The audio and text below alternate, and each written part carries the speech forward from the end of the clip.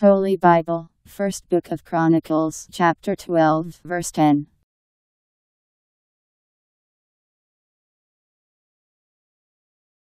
Mishmana the fourth, Jeremiah the fifth.